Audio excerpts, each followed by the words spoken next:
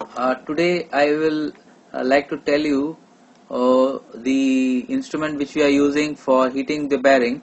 This uh, instrument is model is SKF and we are using high frequency portable induction heater. It is an induction heater.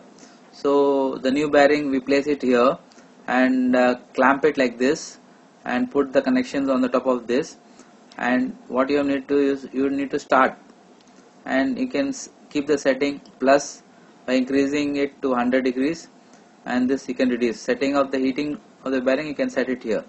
Once that is there then what you do is once it gets heated up the inner side will get heated up and then you can easily put it in the shaft over here. I will run the video for you. You can see the temperature increasing. You can see it was 29 so it will be increasing to uh, 31 now once the temperature increases then you can put this uh, bearing remove the bearing now. Then you can put this you can remove the bearing and once the temperature comes to 75 80 then you can put it on the shaft easily without any much problem. If you have any doubt you can message me. Thank you